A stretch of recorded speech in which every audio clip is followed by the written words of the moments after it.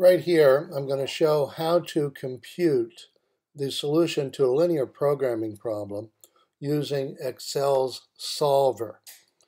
And um, so with linear programming problems, we address problems that are stated similar to this one. So we have the Lancaster Brewery production problem here.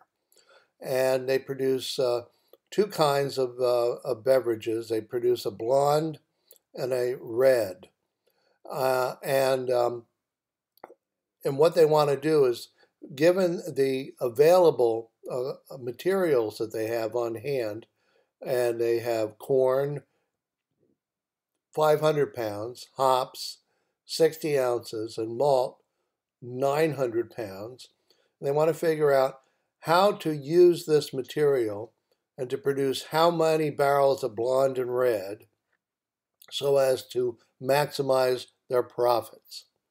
Okay, so this is a standard linear programming problem. It's a simple one because there are only two variables to choose from and, um, and trying to maximize profit. Now, uh, what makes the problem um, more than uh, being completely trivial is the fact that we use uh, 20 pounds of corn for every every barrel of blonde, two ounces of hops, and, and 10 pounds of malt. And uh, no corn on the red, one ounce of hops, and 30 pounds of malt. Now, the issue here is that um, for this is for each barrel then, uh, we use this much of each material depending on blonde or red.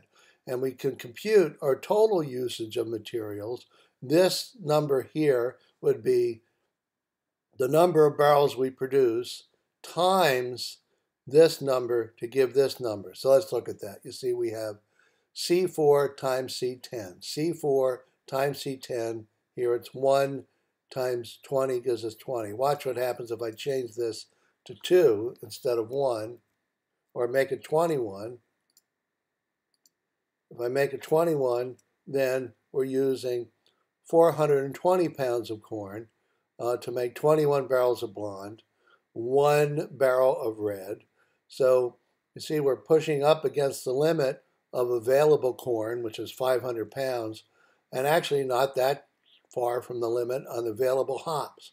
So the idea is how much of blonde, how much of red to maximize profits, subject to the fact that our total usage has to be less than or equal to the amount available.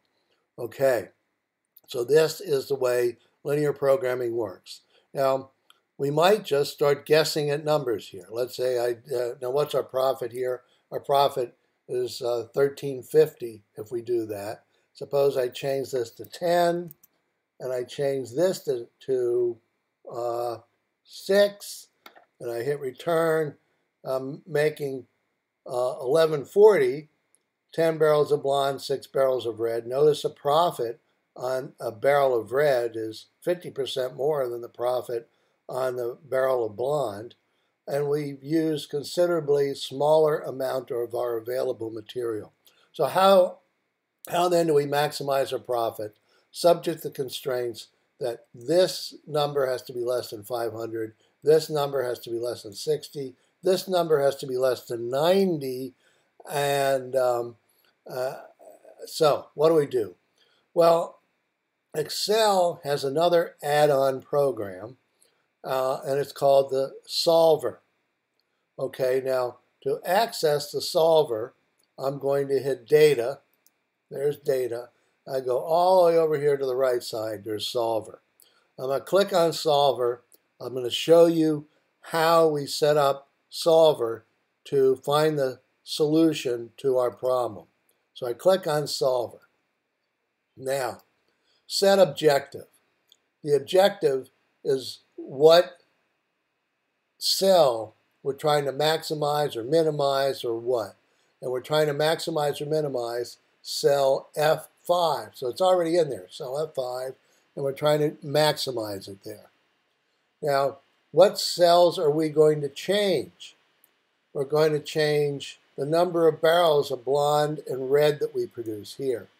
and that is going to be C4 and D4. That's already in here too. Well, I would select that and then write C4 and D4. So I'm trying to, let me show you. I'll click on that and, and I'll just delete it there. Now, click here. Oh, not that, sorry.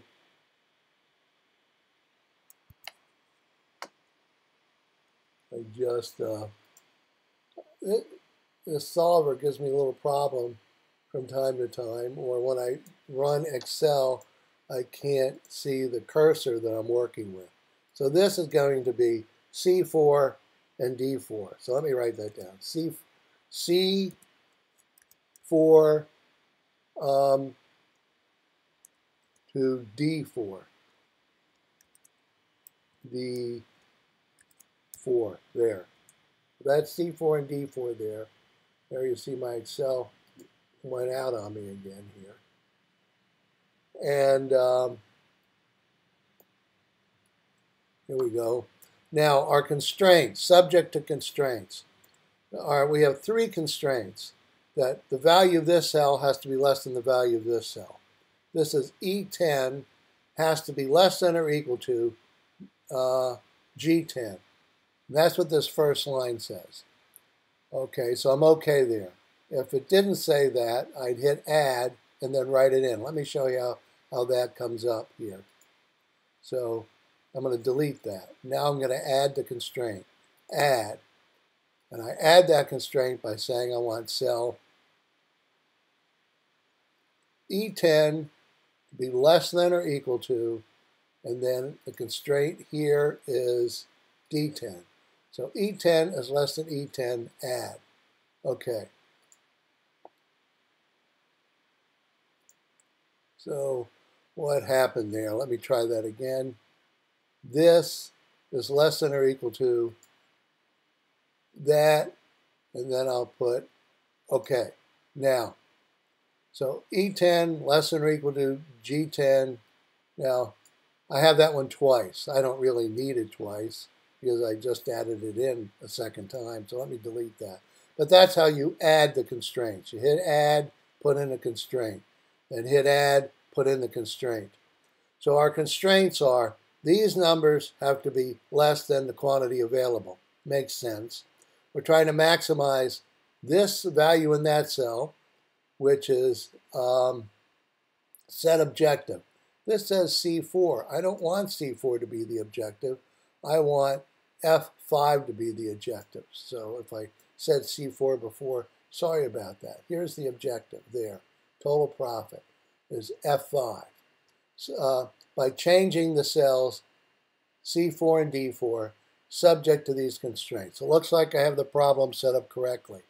Now I also have choice here of choosing uh, the solving method, and there are two methods available. There's this nonlinear function, there's a simplex, Simplex, let me click that because the simplex is a algorithm specifically designed to um, specifically designed to solve the uh, uh, the linear programming problems.